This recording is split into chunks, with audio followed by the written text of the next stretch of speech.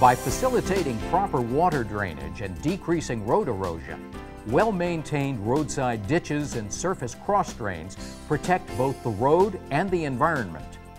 In this program, we're going to take a look at the primary methods of effectively maintaining these crucial systems. In your routine maintenance of roadside ditches with a grader, you have two primary options. You can heel the ditch which stores waste against the cut slope until enough accumulates to warrant removal, or you can pull the ditch, removing the accumulated material and redefining the shape of the structure. Regardless of the method used, it's always important to carefully consider the work you're planning to do. Remember, as long as a ditch is functioning properly, there may be no need to take any corrective action at all. Small rocks and vegetation can keep the soil in the ditch from eroding. And even larger amounts of debris won't necessarily block water flow. So only work the areas that need it and always use a light touch. Once the decision has been made to go ahead with ditch maintenance, scout the area and plan the job.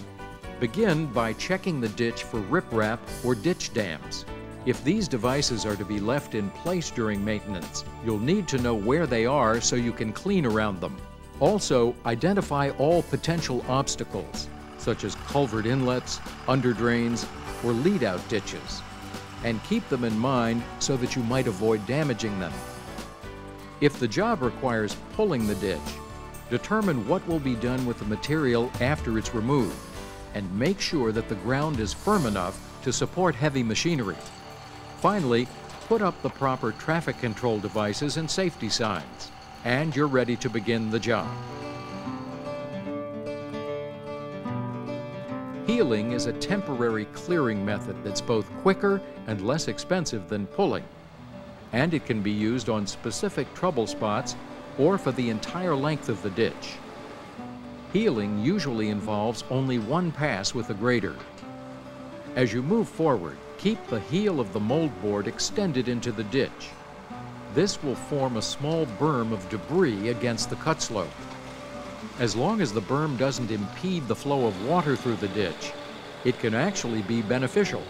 It can slow or stop loose rocks from falling down the cut slope onto the traveled way.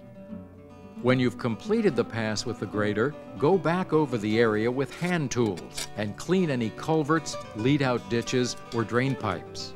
You're then ready to replace any riprap or ditch dams you've removed. Inspect your work and remove your traffic control devices and safety signs.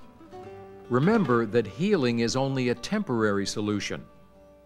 When the stored ditch material interferes with drainage, it must be removed.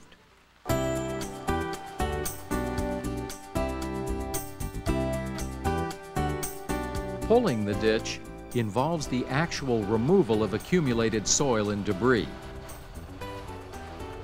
This procedure is performed lightly and selectively, removing only waste material needed to restore the original ditch template.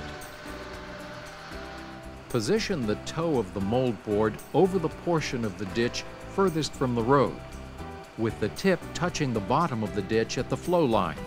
Rest the moldboard cutting edge lightly on the side of the ditch closest to the roadway. As the grader moves forward, the toe of the moldboard should follow along the flow line to capture mud, silt, and other accumulated materials. The cut should only be deep enough to restore a smooth flow line and make the ditch bottom uniform, allowing water to flow easily along the ditch bottom. As you work, Avoid blading aggregate surfacing into the ditch. It's also important not to disturb the cut slope. Undercutting the toe of the slope will result in future slope failure. As you work, the pulled material should roll smoothly off the mold board and away from the flow line, forming a windrow on the shoulder of the road. As the berm forms, move the material onto the shoulder of the road.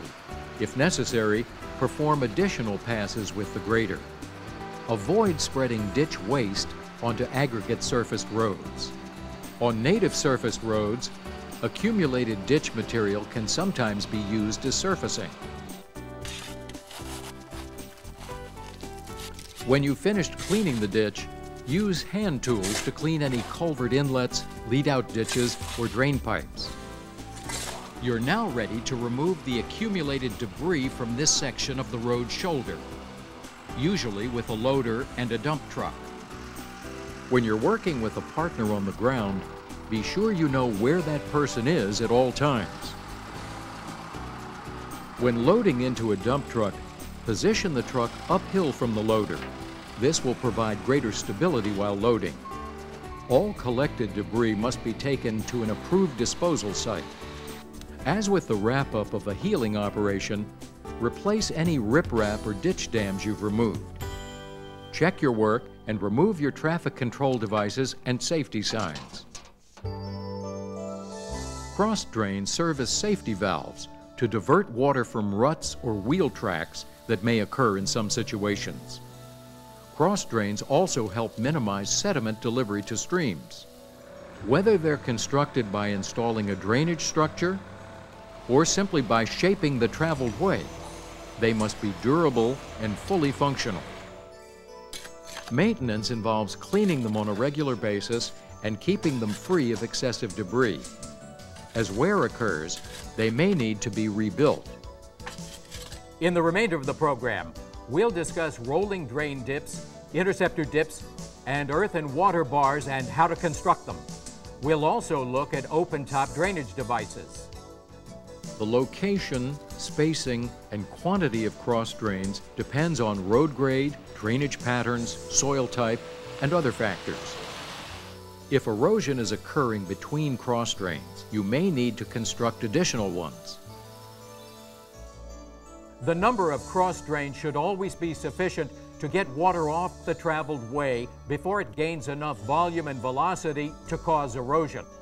Also, remember as you're planning a job, avoid constructing surface cross drain outlets on erodible soil wherever possible. And where it's not possible, armor the soil with vegetation or riprap.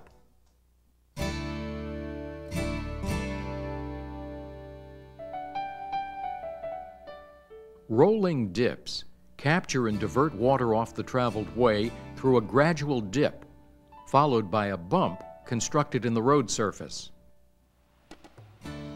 Rolling drain dips run perpendicular across the traveled way.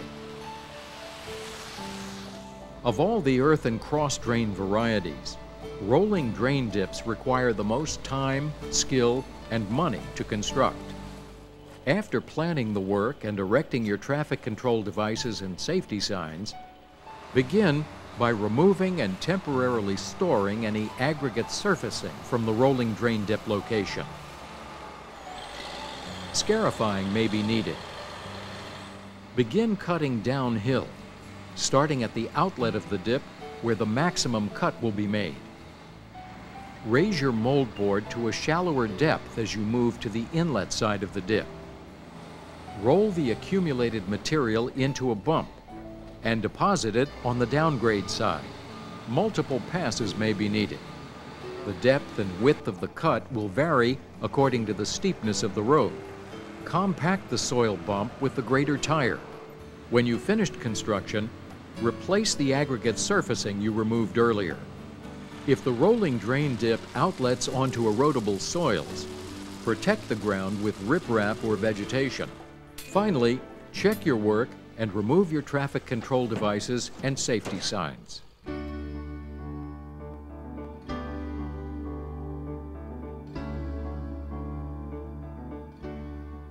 Like rolling drain dips, interceptor dips divert water off the road by means of an indentation and bump in the traveled way. Unlike rolling drain dips, Interceptors are skewed at an angle of 30 to 60 degrees across the traveled way. Interceptor dips are shallow when compared to rolling drain dips. The depth of the cut and the height of the resulting bump are each about 4 inches. The total width of the dip and bump combined is approximately 12 inches. Interceptor dips work well on steeper road grades. The length and angle of interceptors can be varied to effectively capture and divert water from the steepest road grade. When constructing an interceptor dip, The depth of cut is so shallow that it's not necessary to remove the aggregate surfacing from the work area.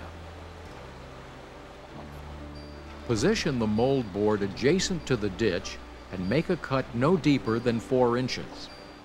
As you proceed, cut the dip at approximately a 30 degree angle to the road center line.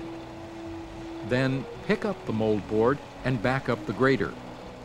Reposition the mold board until the toe is in position to resume cutting and continue cutting until the dip is completed. As you work, the resulting small berm is placed downhill from the dip and is rolled and compacted with the grader's tires. If the dip outlets onto erodible soils, protect the ground with riprap. Now you're ready to remove your control and safety devices.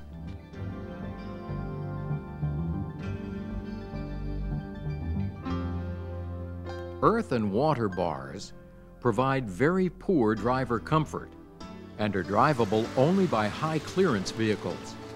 Therefore, install them only in areas with little or no traffic. Water bars extend across the full width of the road and are skewed up to 30 degrees from a line perpendicular to the center line. They normally require little maintenance. Constructing a water bar requires cutting down about 6 to 12 inches into the traveled way. Deposit the material on the downslope side of the cut. Carefully compact the excavated material. The resulting bump should be about 12 to 18 inches in height and about 2 to 3 feet wide. Erodible ground in the outlet area needs to be protected and any removed road surface aggregate replaced. After completing the water bar, test it to see if it is drivable without scraping the vehicle undercarriage. Open-top drainage devices are pipes with sections removed buried across the width of the road. Like the other cross drains we've reviewed, they capture water and funnel it off the traveled way into a protected area. These are high maintenance devices that need to be cleaned regularly to remain effective. If they're damaged but repairable, they should be fixed. Poor water drainage is a road's worst enemy. It's also one of the worst enemies of a road's natural surroundings. The procedures and devices we've been reviewing are designed to function together with the road surface to ensure the safe dispersal of water into the environment, minimizing soil erosion and stream sedimentation. The failure of any part of this drainage system impacts all the others. By being informed and conscientious in your upkeep of these essential structures, disturbing the soil only when necessary, and then using a light touch, you preserve the road's integrity and protect driver safety and the health of the forest environment.